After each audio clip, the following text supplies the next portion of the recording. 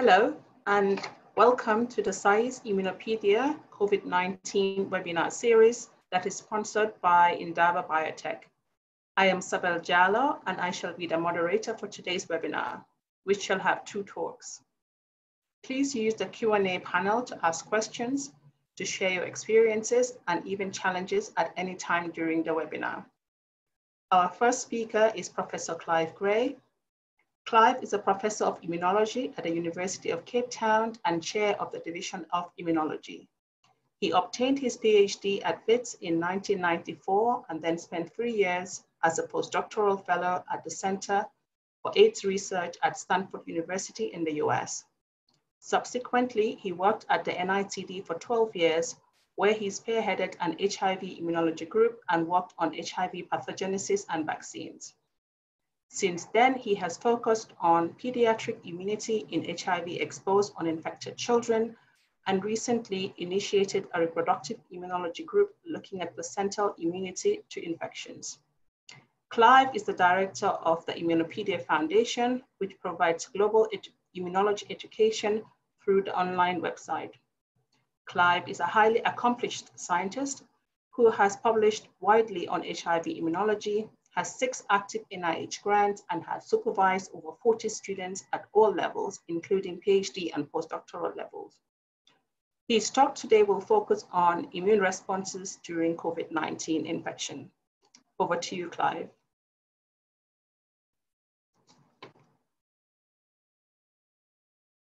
So thank you very much, Sibel. Um, I shall share my screen now. Uh, so Good day, everybody. Um, I hope everybody is well today.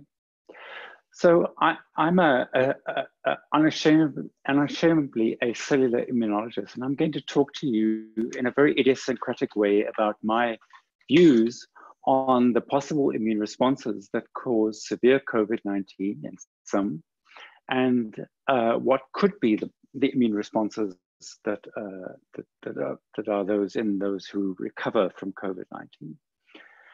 So my outline is what do we know from the original SARS epidemic uh, way back 17 years ago in 2003? And I think there we can begin to learn um, what some of the pathogenic signals are and what some of the protective signals might be. And I'm going to uh, merge that between uh, what I think and what I view as the balance between inflammation and tolerance. And I'll explain what I mean by tolerance when we get to the point. Uh, and then what happens to people who progress uh, to severe COVID-19 and what might be happening in those that uh, in, in infected people who remain asymptomatic or who have few symptoms and or who have COVID-19 and recover. So if we look at the uh, spectrum of respiratory infections, ranging from rhinovirus, adenovirus, RSV, uh, pandemic influenza, but of course SARS and MERS were the, uh, I would say, original coronaviruses that, that caused um, great mortality in those who were infected and great respiratory infections. And in fact, those uh, who were infected with SARS, the original SARS, probably had a 40% rate of ICU attendance. So it was much more virulent than the current SARS-CoV-2. But it's, it's, it's, it's interesting to note that the common symptoms are uh, fever, chills, cough, shortness of breath, dyspepsia, myalgia, and the clinical symptoms of uh, acute respiratory syndrome distress, syndrome, respiratory failure, and fibrosis. So there's very great parallels. And if we look at the work that was done trying to understand the pathogenic signals versus the protective signals. If we look on the left side here, the pathogenic or dysregulated uh, immunity that, that gives rise to inflammation, the causes, and I think are very key here, is that there's a large viral inoculum or a large early viral load.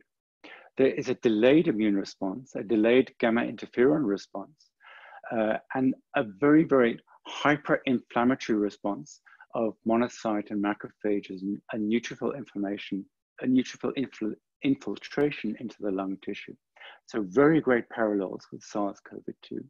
And the consequences are enhanced epithelial and endothelial cell apoptosis, increased vascular leakage, and really very poor T cell and antibody responses. And of course, the outcome uh, leading to, to uh, acute respiratory distress syndrome and of course death. Much higher mortality in the original SARS than in, in the SARS-CoV-2 outbreak. So if we look at the protective side, which is on the right side, we find that um, there, there's a, a, much lower viral inoculum, a much lower viral replication in the individuals, a much earlier immune response, uh, interferon response. Uh, you have an inflammatory response, but it's a lower, it's a lower monocyte macrophage and neutrophil infiltration and a lower pro-inflammatory cytokine response you have minimal epithelial and endothelial cell apoptosis and a much more robust T cell response, which in those very early publications from those years ago, it was a very focused T cell response on the, on the spike protein, which would use the ACE2 receptor for entry into the host, and the host would then survive. So if we view the immune system as a balance, as an equilibrium between inflammation and tolerance. So when there's inflammation, uh, if there's an outweighing of tolerance and hyperinflammation, as we see with SARS-CoV-2, you have a certain level of patho pathology and you have this inflammatory disease causing reactions against self, autoimmunity, vascular leakage, and so on.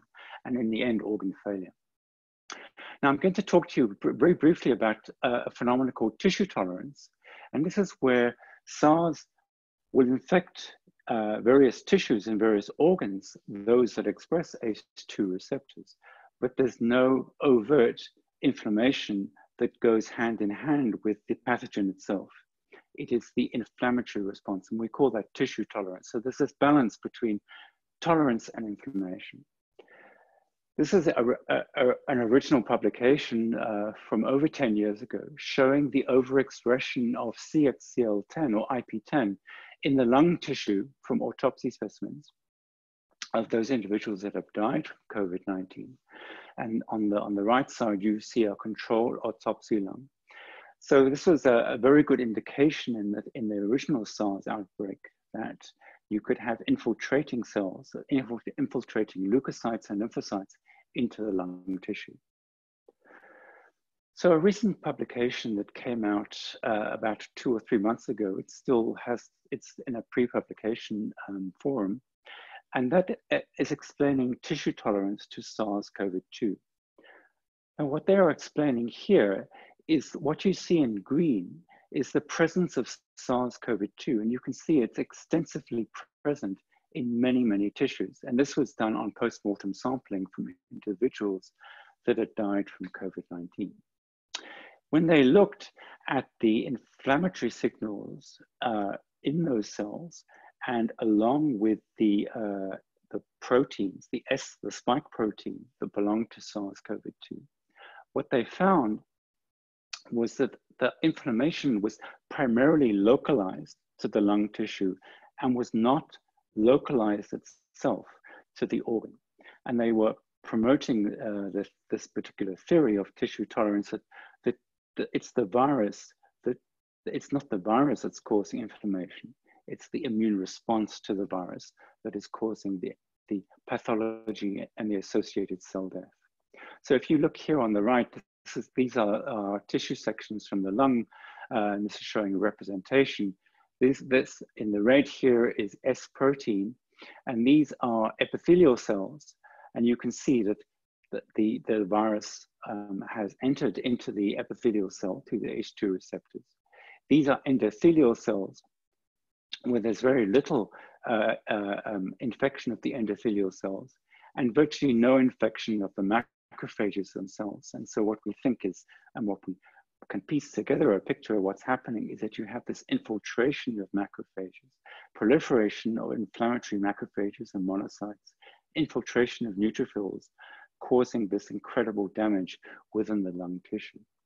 And um, this hyperinflammation, the systemic hyperinflammation, then has a knock-on effect to every single organ uh, throughout the body causing mayhem and chaos.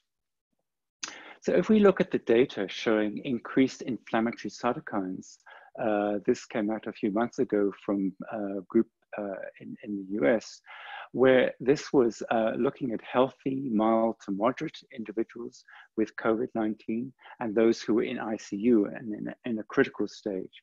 And it's certainly IL-1 beta is a very clear signal.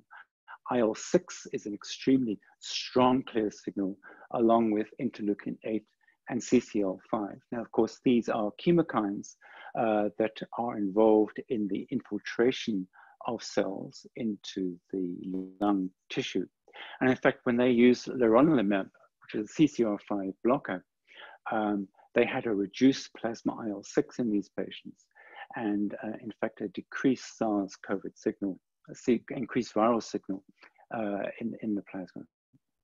So the hypothesis here was that if you block CCR5, you can inhibit the migration of inflammatory inducing cells, uh, such as monocytes and macrophages to the lungs.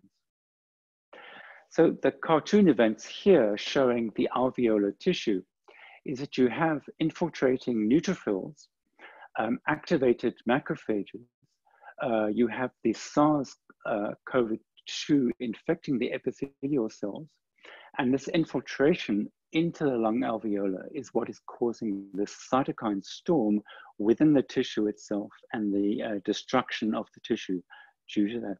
So if you can block uh, the migration, and here they're proposing that CXCL2 or C sorry, CXCR2 blockers would be very instrumental in blocking this. But it also gives an idea that uh, such a drug like dexamethasone, which is, we know that if it gets, gets given at the very end stage you have this incredible hyperinflammation, dampens almost like the downstream effects of this hyperinflammation, whereas the uh, chemokine inhibitors are blocking the infiltration and, and a bit more upstream. So what is causing this inflammation? So is it the virus itself? Well, it probably isn't. But what it probably is happening, and this was a, a, a, a beautiful publication that came out looking at systems immunology uh, last month, showing, and this was showing um, in healthy, moderate, severe, and in patients uh, going into ICU in blue. So red and blue, take note of the red and blue in these graphs. The, so this is interleukin 6, tumor necrosis factor, and MCP3, which are uh, inflammatory cytokines that were measured in the plasma. And when they looked at uh, three particular inflammatory uh, cytokines that were indicative of pulmonary damage, so EN-RAGE is a biomarker of pulmonary damage, TNF SF114 is highly expressed in human fibroblasts and be released when there is damage. And OSM is a regulator for interleukin 6 production. And what they found is that uh, the cells, plasma, plasmacytoid dendritic cells and myeloid cells within the circulation were not the producers of these, uh, of these pro-inflammatory cytokines. And actually it was the tissue origin, it was the damage in the lung that was causing the uh, release of these uh, inflammatory mediators that was causing uh, inflammation in the host. What is causing that? Well, they propose that it's the microbial products, with the microbiome in the lung, where you have this incredible damage in the lung and release of microbial products from the lung parenchyma into the circulation. So when they looked at the uh, bacterial 16S RNA gene presence, they found that it was significantly higher in those with severe or those in ICU uh, compared to healthy controls and also lipopolysaccharide, which is a gram-negative bacterial product, was highly circulating in the plasma of COVID-19 patients in ICU. And when they correlated the plasma cytokine levels with the bacterial DNA copies, they found that there was significant correlations between those in, with severe and ICU with uh, the presence of the bacterial DNA and, and, and, the, and and, and the plasma cytokines, leading to the conclusion that it's um, uh, lung damage and microbial translocation are probably the likely cause of the hyperinflammation in severe COVID-19.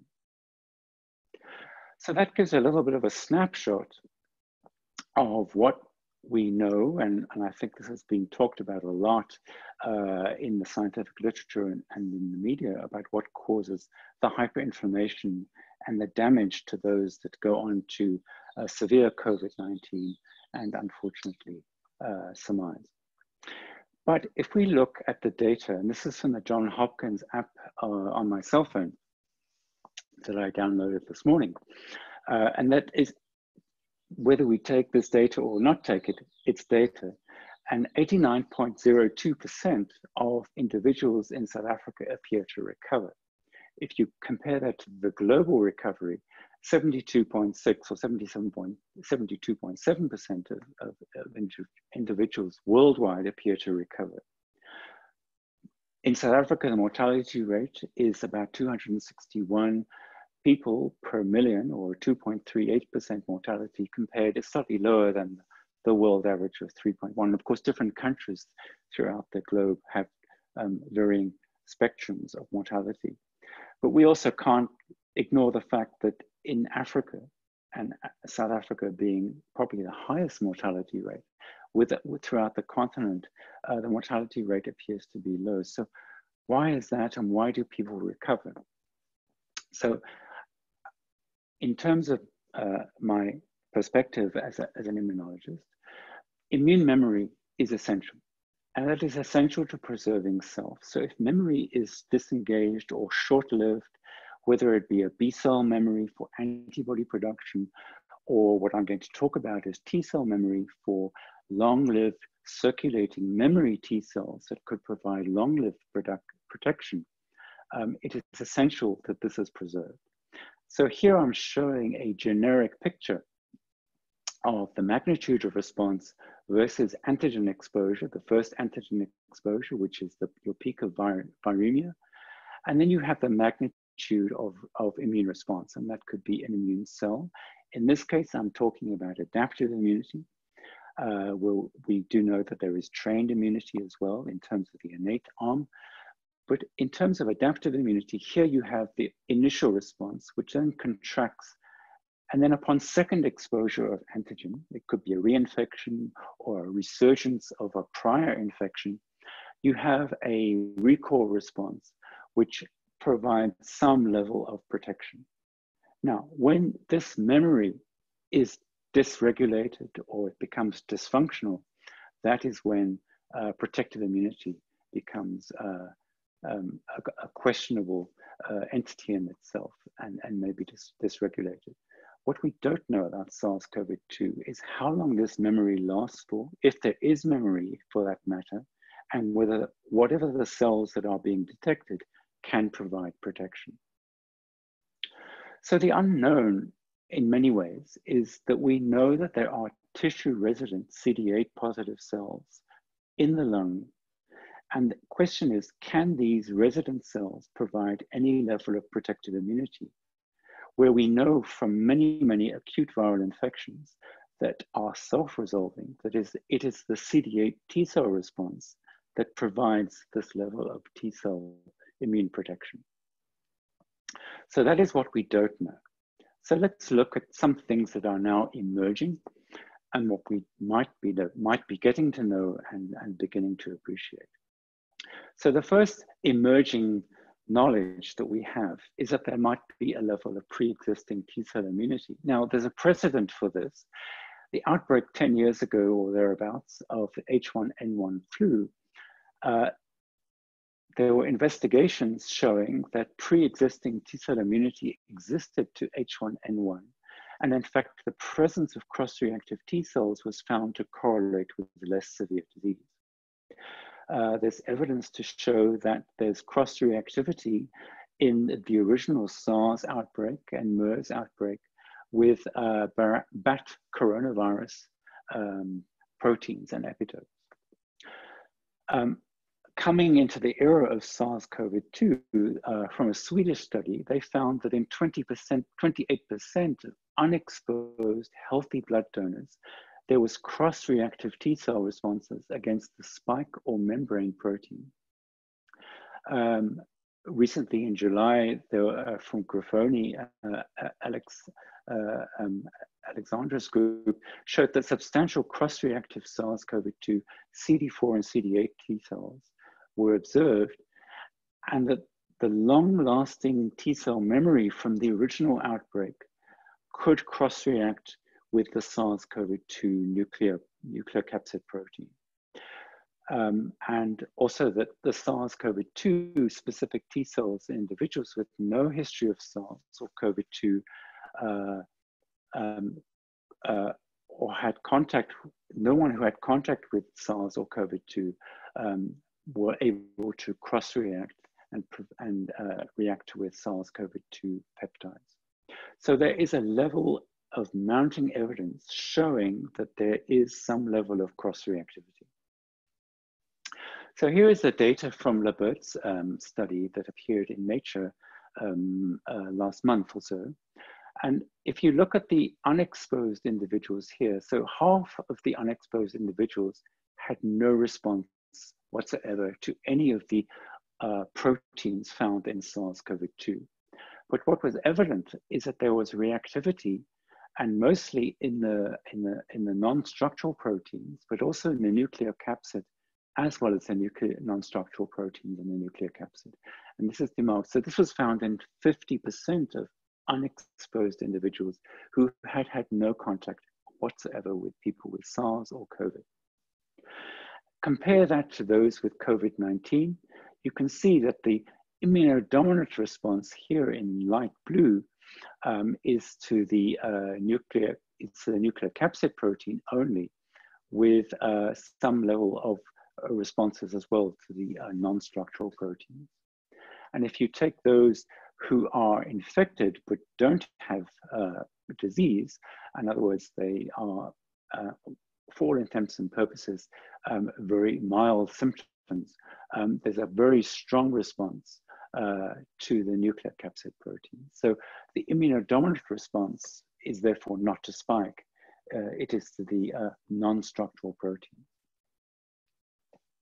And then if we look at the Grifoni uh, uh, papers data, uh, what, what they're showing here is that about 50% of the CD4 responses, so black is the unexposed, so 50% of these individuals here had some kind of response uh, to the T cell, which is a more of a functional response of measuring um, uh, CD137, which gets upregulated uh, upon exposure to antigen, along with OX40 expression. So 50% of unexposed individuals show these CD4 responses where all the exposed individuals have a response of some kind. So this is taken from the graphical abstract in the paper that appeared in Cell, uh, which is perhaps a little bit easier to digest. And that is a, those with COVID-19, 100% of CD4 responses uh, res uh, recognize either spike membrane, nuclear capsid, or the non-structural proteins here. And 70% of the CD8 cells did the same. And they used a series of overlapping peptides uh, corresponding to the sequence of the SARS-CoV-2. But I think interestingly, and maybe here are the clues as to cross-protective, maybe, T cell responses is that 50% of CD4 T cells, as I showed in the previous slide, uh, certainly could be mapped to responses to spike non-structural proteins and to membrane proteins. And 20% of the CD8 responses, albeit much weaker in the unexposed, but they were there, again, were to these overlapping peptide regions. So emerging two, and this, this came out last week from uh, the Oxford group showing that um, there was a, a, broadly reactive memory. I pointed out and I mentioned earlier that memory was all important. What type of memory is important? And they found, and here they were looking at uh, uh, these are pentamer specific, so these are uh, epitope specific CD8 cells belonging to certain uh, MHC class 1. So these are MHC class 1 restricted CD8 T cell responses. And one of the questions that they wanted to ask was what type of memory response are these cells? And what they found is that individuals with mild to moderate uh, COVID-19 who recovered um, had a, a, memory differentiation phenotype belonging to these um, COVID specific uh, 19 specific cells of an early differentiated or central memory, which is pretty good in terms of being able to respond again in terms of a, a recall memory response. But interestingly, what they found is that those with severe COVID-19, they had a, a, large overall T cell response uh, to COVID-19, but a, a, a, much higher CD8 specific T cell response existed in those with mild COVID-19. So in other words, there appeared to be some level of CD8 reactivity in mild individuals uh, that could possibly be protective. We don't know the answers to that. And in fact, um, um, let me just go on to this slide because this, this uh, was a editorial in Nature, um, also um, highlighting this particular paper. And I think this is interesting to note that in, if you look down here in severe COVID-19, there was overall a very large T cell response uh, and a minimum, a, a, relatively less CD8 T cell response. Whereas in mild COVID-19, there was a, a, much higher CD8 and more robust CD8 response. Could these be protective? What we don't know are the ones in red here. It's unknown kinetics and the hierarchy of this antiviral T cell response in that acute stage of viral infection. And then also at the other end of the spectrum, um, it's an unknown duration. How long do these memory cells last for? And does the hierarchy change? And is that important?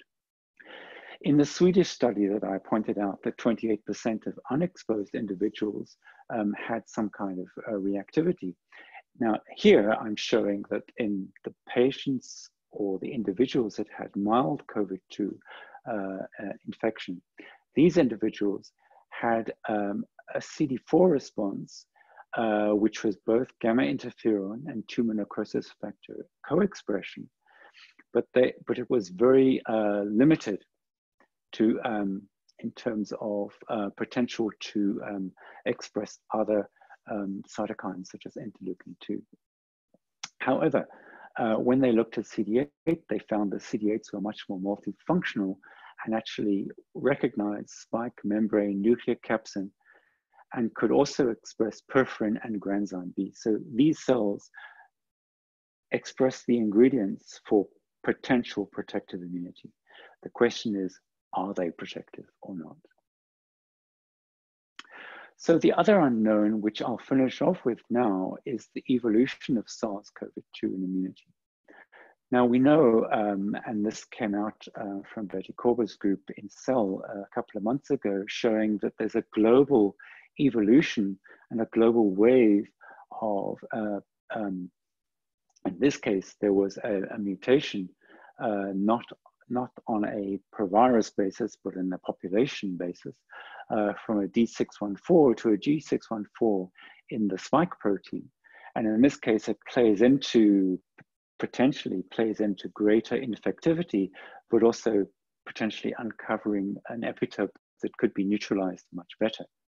But coming from the field of HIV, where we think that um, mutations are bad, and we think they are determined by possible immune pressure from the host, we don't know whether this particular evolution is stochastic or random, or is, is potentially determined by uh, the immune response that is, that is governed by the individual hosts that are infected.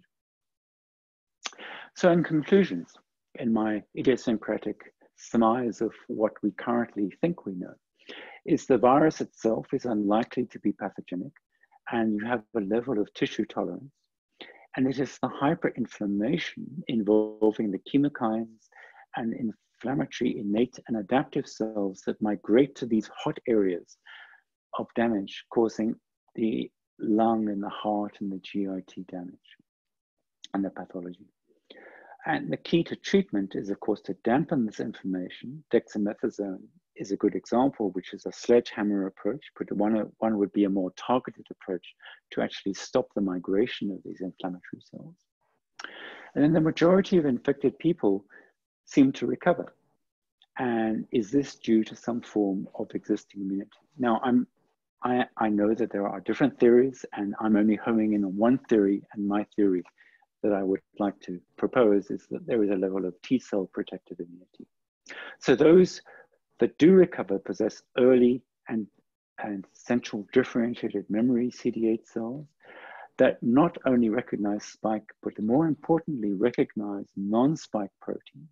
And that's extremely important because that's a level of cross-reactivity that may exist in those that might have a head start in, in, in having lower symptoms to infection. And can this provide protective immunity?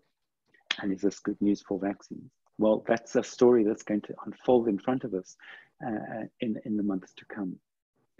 So thank you very much, and I'll take questions. Uh, thank you.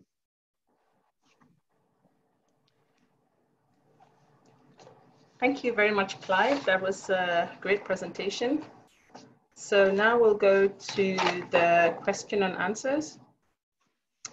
Uh, the first question is by Garrett Canther, who has two questions. Um, the first is, if bacterial translocation causes severe COVID-19, could antibiotics be useful or protective? The second one is, could there be a quantiferon type test for T cell immunity to this type, to this virus to identify pre-existing or new immunity? I'll, I'll, I'll, take the second one first because uh, um, the um, the Swedish publication um, actually used the ELISpot assay uh, to measure gamma, gamma interferon um, responses to identify responses both in the unexposed and the exposed. So I would say that's the first step towards a, a quantiferon type assay to, to look at that. So I would say that's probably quite feasible, yes. Um, the first question would be antibiotic use. So that's a very interesting point, and I, I, I think we can only hazard a guess.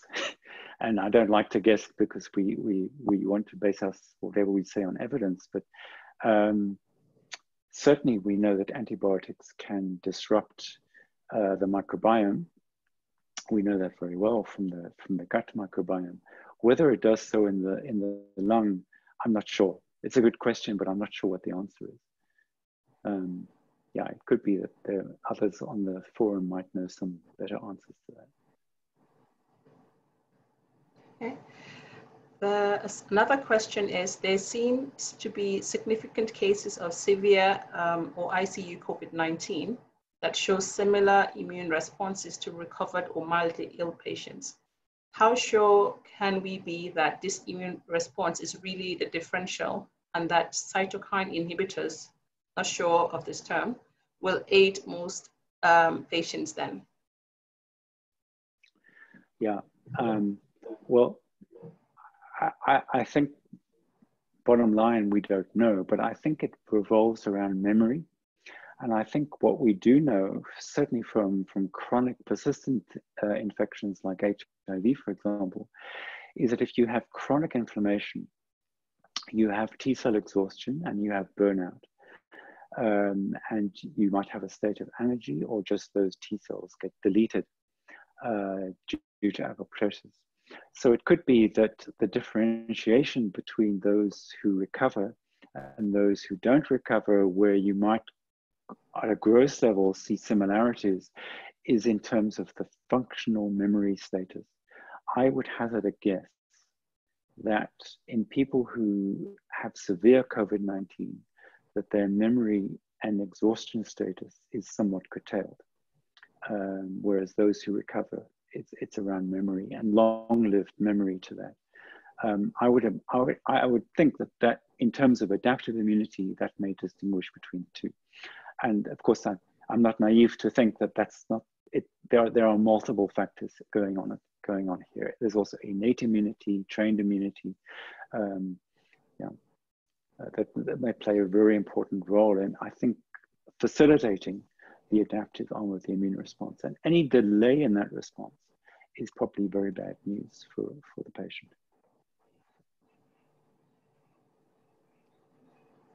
Okay, and uh, the last question um, from uh, Kerrigan is, um,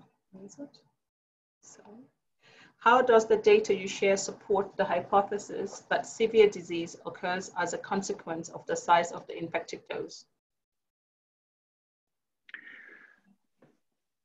So we don't have enough data to really support that hypothesis uh, yet, or refute it for that matter. It's, it's neither one way or the other. Um, I think until we can have a really good measure of understanding the size of the inoculum uh, and then relating that to the size of the immune response, uh, we don't know the answer to that. I, I guess what we, what all we can know is the severity, uh, the clinical severity of, of symptoms. Um, but again, we can take our cues from other viral infections that if you have lower viral infectivity, you probably have a better chance of providing some level of immune protection. It's an extrapolation, it may be wrong, but, um, but yeah, we, we need to have, accrue more evidence for sure. So um, thank you, everyone. Sorry, um, we can't, we'll take, um, Clive can answer the rest of the questions in the uh, Q&A. Yes, um, so we'll move on to the next speaker. Our next speaker is Dr. Melinda Suchard. Melinda obtained her medical degree from the University of Witwatersrand in 2000, after which she obtained her Master's of, her Master's of Medicine and specialization in clinical pathology. Melinda became the head of for the Center for Vaccines and Immunology at the National Institute for Communicable Diseases in 2013 with a joint chemical pathology appointment at Wits. As head of the Center for Vaccines and Immunology, Melinda oversees the polio, measles, and rubella regional reference labs for the WHO. Melinda has been the president of the South African Immunology Society since 2018 she is also a member of the National Advisory Group on Immunization, the Immunology Expert Community, Committee of the NHLS, and the National Polio Expert Committee. Melinda's research interests are in immune tolerance with particular focus on infectious diseases such as HIV and tuberculosis. Melinda's talk will focus on macrophage activation and the nicotinamide pathways. Over to you, Melinda. Hi, good afternoon, everybody. Good afternoon, Sibel. Um, and I'm going to take you on a slightly different uh, pathway now and um, hone in on the macrophage, and in particular concentrate on nicotinamide, and I'll explain why. Um, just a disclaimer is that the views expressed in this presentation are my own and do not reflect the views of uh, my employer or the SAIS or any other institution. So as some background, uh, we know that SARS-CoV-2 infection can result in COVID-19 disease of varying severity. Um, it's been described as a biphasic illness. We know there, are, there is infiltration of macrophages and T cells into the lungs. And the macrophage responses play a role in this hyperinflammatory syndrome, or what's been termed a cytokine storm that accompanies severe disease. And in fact, some of the histopathology reports describe some features of uh, macrophage activation syndrome, when they look down a microscope and look at lungs of people who have died of COVID. We know that there are risk factors including age, diabetes, obesity, hypertension, male gender, uh, and various others, but these are the ones that I uh, draw your attention to for the purpose of this talk. And um, I'm just going to give you a little bit of a background on nicotinamide. What is it? So most of us will uh, know of nicotinamide as vitamin B3, which we can uh, eat through our diet.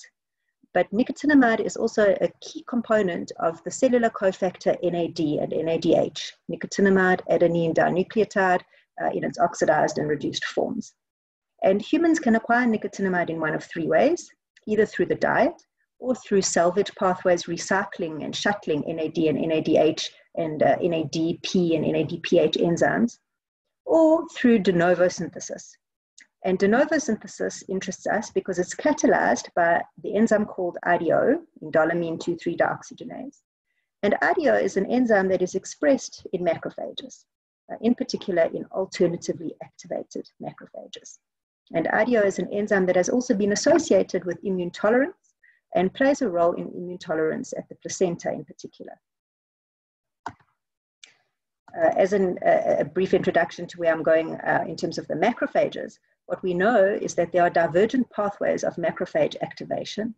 Macrophages can be either activated in what's termed a classical way, as our textbooks describe them, where they are pro inflammatory and they release pro inflammatory mediators, or in an alternate way, what's sometimes termed an M2 way, uh, where they release more anti inflammatory cytokines and have been described as being involved in wound healing and in tissue repair. Um, so, you know, people can split hairs on the terminology of these different macrophages, but the principle is, is that uh, macrophages are not um, uh, universally the same. They can be activated in one of two different ways, classically activated or M1 uh, type of activation, or alternatively activated or M2 type of activation. Uh, in the M1 state, they make pro-inflammatory cytokines like TNF alpha and IL-1. In the anti-inflammatory state, they make things like IL-10. And a very key difference uh, in, in, their, um, in the enzymes at which they express is activity of this enzyme IDO, because IDO is expressed in the alternatively activated macrophages uh, rather than in the classically activated macrophages. And what IDO does is it converts tryptophan into kynurenine um, along the pathway of nicotinamide synthesis. Now, additionally, we know that there are divergent pathways of macrophage metabolism. There is the traditional textbook kind of metabolism known as oxidative uh, phosphorylation, uh, in which case, you know, this is the, the typical biochemistry we were taught uh, at university, that uh, cells undergo three types of, um, uh, three phases in their sugar metabolism, glycolysis, the Krebs cycle, and the electron transport chain. But there is a divergent way that macrophages can be activated, which is termed Warburg-like metabolism or aerobic glycolysis. And in aerobic glycolysis, um, the cell seems to stop at the glycolysis step and doesn't finish up the later stages of the Krebs cycle and the electron transport chain. So it's almost um, similar to anaerobic respiration, where you know if you ran a marathon and you ran out of oxygen, you wouldn't be able to complete that last step of the electron transport chain. Um, so your, your cells uh, would undergo fermentation. Glucose would get fermented to lactate and would not be able to complete the cycle. Um, and Warburg-like metabolism mimics that, uh, except that oxygen is in plentiful supply. Um, so it's as if you've run a marathon when actually you've got plenty oxygen. Your cell just for some reason chooses not to use it. So as a simplistic picture of this type of, of, of these two types of metabolism, here is the traditional um, textbook view of metabolism where the cell undergoes glycolysis, um, the Krebs cycle in the mitochondrion, and then the electron transport chain happening on the membrane of the mitochondrion with oxygen as the final acceptor of the electrons. And what's going on in Warburg metabolism is that there is still glycolysis, uh, but the, the Krebs cycle may or may not still be present. There may be modifications, but the electron transport chain doesn't happen for, for, un, for still unknown reasons. Now, um, this field of immunometabolism has tried to tie these two features together and say, do the divergent pathways of macrophage activation talk to the divergent pathways of macrophage metabolism? And indeed, they do. So, what has become apparent is that when macrophages are infected uh, with various pathogens, uh, macrophages shift their metabolism to a Warburg like metabolism. And the exact features and exact enzymes may differ between different pathogens, but in general, there is a shift away from the traditional oxidative phosphorylation to this Warburg like state. Here's my schematic of this situation. So, in the classically activated macrophage, um, only glycolysis is happening. This is a Warburg-like metabolism, whereas in the alternatively activated macrophage, all three steps are happening, glycolysis, the Krebs cycle, and the electron transport chain oxidative phosphorylation uh, inside the mitochondrion. Now, aging research and immunometabolism seem to be converging, and the meeting point is the central cellular cofactor nicotinamide adenine dinucleotide or NAD. Uh, so we know that NAD is central in many forms of cellular metabolism. So I'm putting NAD and NADH in the picture, in the center of my picture here. I'm not going to do any more intense biochemistry of how this NAD or NADH um, is intersecting with these, these cycles. I will leave that to my more esteemed biochemical uh, colleagues. But needless to say, um, this shuttling of NAD between its oxidized and reduced forms is a central and critical component of these, both of these two types of metabolism. We, as described, there are different ways that we can um, boost our NAD and NADH pools, either through shuttling between um, the existing NAD and NADH uh, stocks in the cell, or through taking in dietary nicotinamide in the form of vitamin B3. And if those are both insufficient, um, we can create our own nicotinamide through the de novo synthesis pathway via tryptophan. Now, what aging research is, um, is showing us is that one of the hallmarks of aging is a reduction of intracellular NAD and a reduced NAD to NADH ratio. And indeed, all those um, risk factors that we spoke about for COVID, shown in the bottom here in this uh, blue um, um, uh, this blue, uh, what is it? I don't know. Uh, uh, it's not a circle, but you know what I mean. All these metabolic diseases, such as obesity, diabetes, dyslipidemia, non alcoholic fatty liver disease, all of those um, usual suspects in the metabolic syndrome are all associated with disruptions in the NAD cycle. Um, and here you can see the nutritional elements can feed the NAD cycle, and then various enzymes can degrade NAD, including sirtuins and PARPs. And really, this NAD pathway um, is, is at the forefront of research in many different fields. So where is this taking us? This leads us to the hypothesis that infectious pathogens, including SARS-CoV-2, may cause disease by interference with host NAD pathways, and that its pre-existing aberrations in host NAD metabolism due to diseases such as diabetes, hypertension, or aging that may worsen disease severity. Is there supporting evidence? Well, what we know is that we know that a lot of viral infections interact with the IDO pathway. Um, many viral illnesses cause an increased kynurenine to tryptophan ratio, in other words, a product to substrate ratio. For example, CMV, herpes virus uh, 1 and 2, hepatitis B and C, and HIV. Uh, we know that in animal influenza studies, uh, there is elevated IDO activity during animal flu. And in human influenza, also there's evidence that increased IDO activity um, occurs during human flu and is also associated with poor clinical outcome. So in this uh, human trial, uh, increased IDO activity was associated with death or transfer to intensive care or requiring mechanical ventilation. In other words, the product to substrate ratio, the kind trip ratio, correlated with clinical features of severity.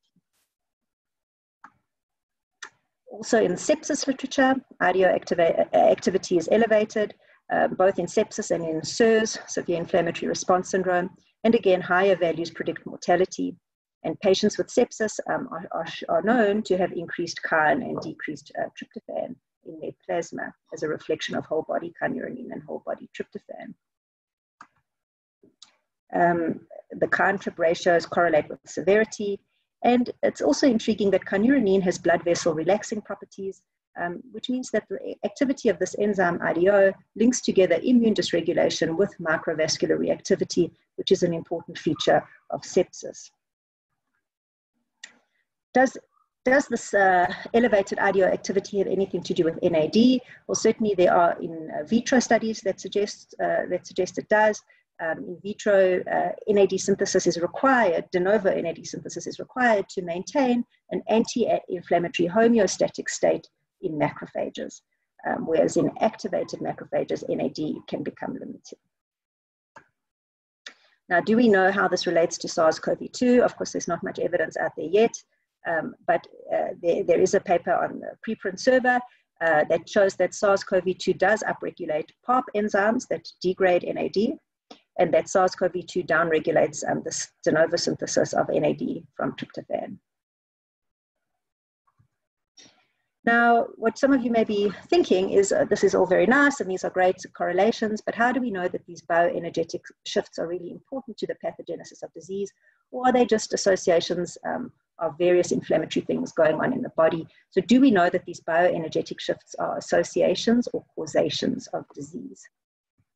Um, so to answer this question, I'm going to take you on a little uh, evolutionary de detour to explain to you why I think they are causative rather than merely associated with disease. And I'm going to take you back to the, the right to the beginning, which is the origin of mitochondria themselves, and remind you that mitochondria originated, in fact, through endosymbiosis of one prokaryotic organism within another prokaryotic organism. So it was an alpha proteobacterium that got invaginated into an archaean, and they formed a, a, great partnership that has lasted until this day and forms the basis of all eukaryotic life as we know it, right? All plants, animals, fungi, etc. Um, simply because these two unicellular organisms got into such a fantastic partnership in this one chance event. And that really uh, raises an interesting light in which to view Warburg metabolism. Because in Warburg metabolism, when, when you have only glycolysis happening and the rest of the mitochondrial cycle doesn't complete, you can postulate that it's almost as if that mitochondrion is um, reverting to a, a, kind of a primitive state uh, where it's lost this um, partnership with its other bigger cell uh, that surrounds it. So during Warburg-like metabolism, you know, one way of, of thinking about it is that cells seem to be reverting to more primitive prokaryotic type of metabolism instead of the symbiosis between mitochondria and, and cell. Um, so mitochondrial function within the cell revolves around what the textbooks often describe as an ATP-dependent uh, symbiosis. But we need to remember is also uh, very much a hydrogen-dependent symbiosis. And in fact, has been termed, this has been termed the hydrogen hypothesis, uh, and, and the NAD NADH symbiosis between mitochondrion and cell is probably very fundamental to evolution of, of, of eukaryotic life itself. Now, my second uh, evolutionary viewpoint is a more proximate one, which is around uh, reproduction, mammalian reproduction. And I'll just point out um, this, this uh, critical time point of when the sperm fuses with the egg and um, ask you how do we inherit our mitochondrial, how do we inherit our mitochondria in general? And as you will be able to tell me, it's common knowledge that mitochondria are passed down through the maternal line. Um, we all inherit our mitochondrial DNA from our mothers. Mothers pass it to, to children of both sexes, but paternal DNA is not passed on. Now, what are the mechanisms of that? Why are paternal uh, DNA, why is paternal DNA, mitochondrial DNA not passed on? And that mechanism happens at the moment of conception, where the sperm mitochondria are actively degraded by the egg. So, in some way, the egg mitochondria, which are these um, almost UK, uh, primitive uh, unicellular little organisms in the, in the egg, don't like to be invaded by some foreign unicellular organisms that are coming from the sperm, right? The sperm mitochondria. Somehow sense that these sperm mitochondria are foreign and actively degrade them. And for me, this is where uh, a lot of the evolutionary um, um, um, basis of selection comes in as to how does uh, how do we know what is self and what is foreign? Probably it is evolving from this very moment of conception when somehow the egg seems to recognize what is self and what is foreign and can somehow recognize paternal mitochondria as foreign so during sperm ovum fusion, the female ovum actively targets and destroys the male mitochondria, which is a process known as mitophagy or allophagy. But the mechanism of sensing of which are self and which are foreign remains obscure and is not well characterized. Now, this leads us to the relevance of this, which is that SARS CoV 2 replication, similarly to many other viruses, comprises a double stranded RNA step and double-stranded RNA can be sensed by the cell through various mechanisms, many of which are mitochondrial in their origin. And it's plausible that sensing of cytoplasmic double-stranded RNA is a conserved mechanism that stems from this process of mitophagy at conception. So the hypothesis is, is that mitochondrial sensing of viral double-stranded RNA is what induces a, a mitochondrial metabolic shift, for example, to Warburg-like metabolism. Um, and that shift precipitates changes in the NAD metabolism in the cell and precipitates perhaps an NAD deficiency in the cell. Therefore, the secondary compensatory response would be increased IDO activity in order to compensate for insufficient nicotinamide and to make more nicotinamide for the cell. So in summary, what we know is that kynurenine biosynthesis via IDO upregulation is a signature of infection with a wide range of pathogens.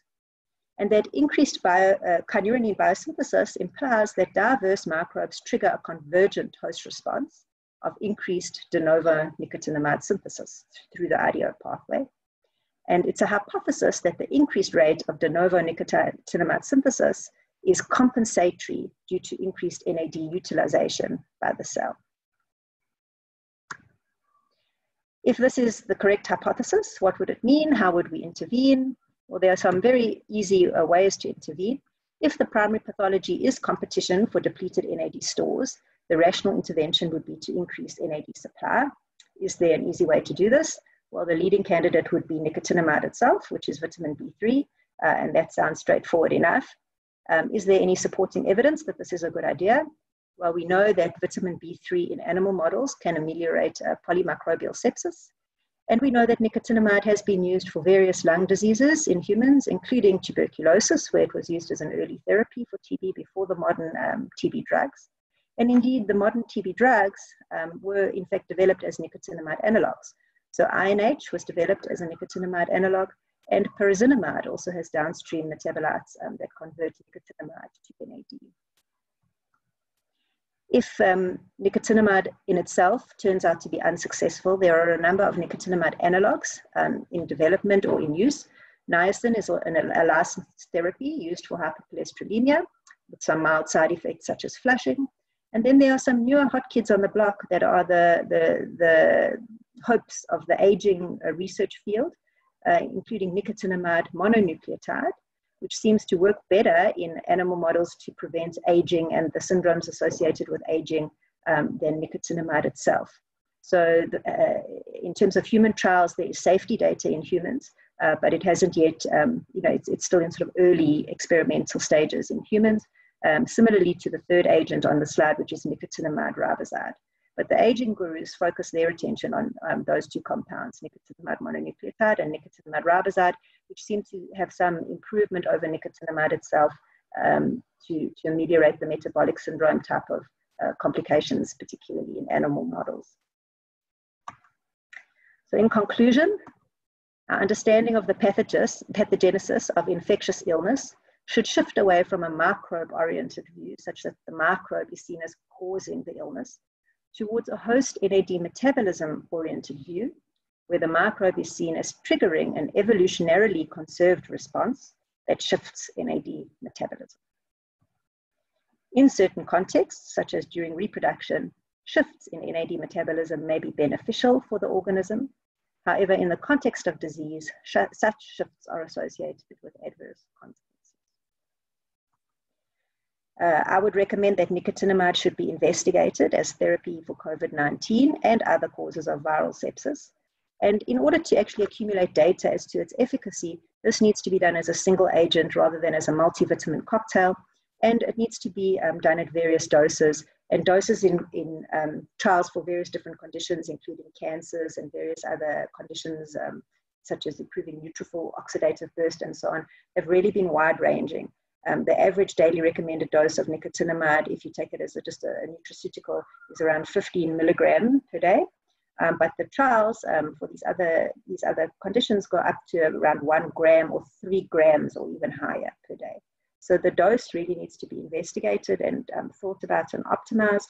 Um, and I'm certainly not advocating that we all go out and take nicotinamide, you know, just or just uh, sort of willy-nilly, but I really do think that we should accumulate real efficacy data as to whether nicotinamide does or does not work to treat COVID-19. Um, and if the data shows that it does not work, then the related compounds, including INH, niacin, which are already licensed, and then the newer products such as nicotinamide riboside and nicotinamide mononucleotide would warrant investigation.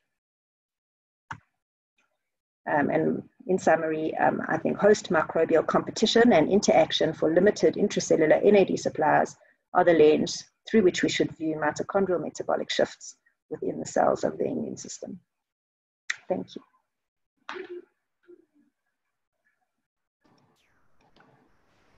Thank you, Melinda, for a great presentation. Now we'll go to the question and answers. Um, the first question is from Elvis could we say affected, uh, could we say cells affected by SARS-CoV-2 would rely on aerobic glycolysis than oxidative phosphorylation? Yes, that, well, so that's the, the hypothesis would be that SARS-CoV-2 would um, cause cells to shift into Warburg metabolism, which may be um, which may be the way we we defend against many different kinds of viruses. But perhaps that that shift uh, lasts too long, or in some way is not compensated enough by then a later shift to the endogenous um, pathway of nicotinamide synthesis. So there's a biphasic response, right? There must be a, a, a shift, for example, pro-inflammatory followed by anti-inflammatory in terms of how we respond to innocuous viruses.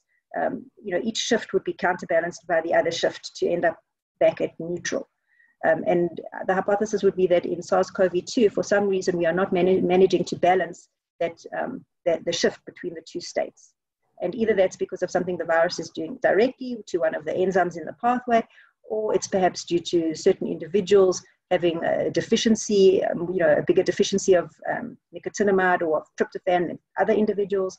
Um, but, but for some reason, this balance is not coming back to neutral. Okay. Um, another question is type 2 diseases endemic areas or countries will have populations with high alternative activated macrophages. What is the prevalence of COVID-19 uh, in these areas? Sorry, I'm not sure I caught the beginning of that say of that question. So is that about um, countries that are endemic for helminths and that kind of um, in that kind of context? Possibly, because it says type 2 diseases. I, I wasn't sure if it was like type 2 diabetes, maybe, you meant to say yeah um, so i'm not yeah i'm not sure we know um, the I think this is a very dynamic, you know, the, cell, the shift in cellular metabolism would be quite dynamic and would happen quite fast and are probably, happen, probably happening kind of every day. Uh, they're, they're, they're a normal feature of cell biology. In fact, uh, those shifts don't only happen in macrophages, but happen in T cells and in B cells and even in endothelial cells. There is the switching between um, the Warburg-like and the and then the oxidative phosphorylation again. So I'm not sure there would be a systematic difference in sort of geographical regions in terms of macrophage types. I, wouldn't think so. Okay.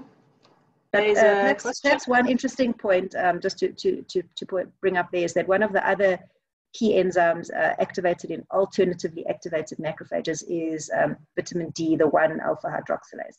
So uh, vitamin D has been quite topical around COVID, and it is perhaps noteworthy just to, to point out that um, vitamin D hydroxylation, or the 1-alpha hydroxylation step, is also a key feature of alternatively activated macrophages, and therefore vitamin D metabolism might tie into the picture from that, from that perspective.